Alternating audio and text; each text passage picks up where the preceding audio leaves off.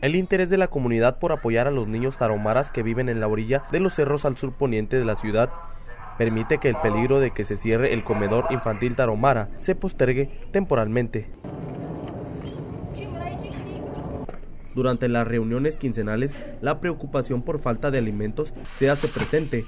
Sin embargo, el apoyo que reciben les permite que cerca de 100 niños y adolescentes de preescolar, primaria y secundaria almuercen antes de ir a la escuela. El comedor fue construido por los mismos taromaras hace cerca de 12 años.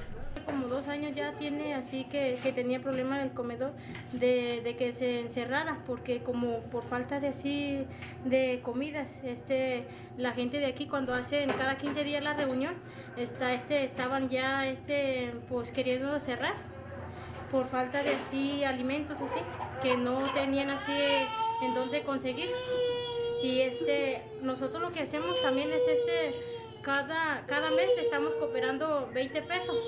Aquí la familia, aquí la comunidad.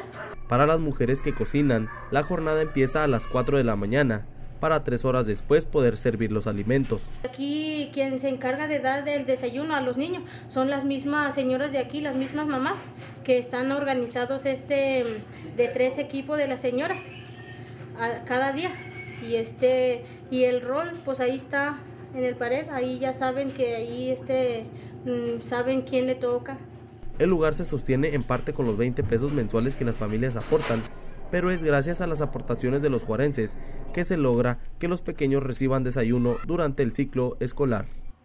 Para Diario TV, Eleazar Reza en la información.